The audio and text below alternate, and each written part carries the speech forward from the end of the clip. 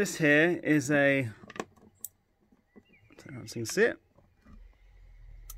It is an XH-M609 low voltage disconnect designed for 12 volt batteries. At the moment I've got it running on lithium batteries so it's running a little bit lower voltage which seems to work okay. It has two buttons, one plus and one minus. If you press them just momentarily you get the current shut off voltage on the left button and on the right button you get the difference between the voltages that it will shut off at. So at the moment it's 0.2. If you hold down the buttons it will give you plus and minus the uh, shut off voltage and then you leave them and it will go back to normal.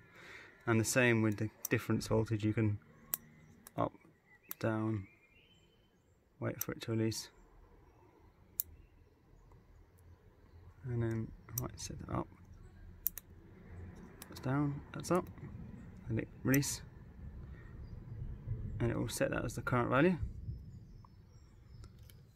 When it gets to should be 0.4 it will reset. So I've got this running on a lithium polymer uh, that is a 3S2P old laptop battery cell running through a watt converter. So my solar panel's running at 5.6 5, 5 watts at the moment through a another module that's a uh, MPPT 3 cell uh, power chip basically.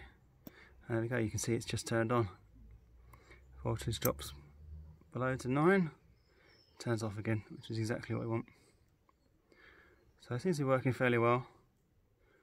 Might play with those voltages a bit and that's all there is to it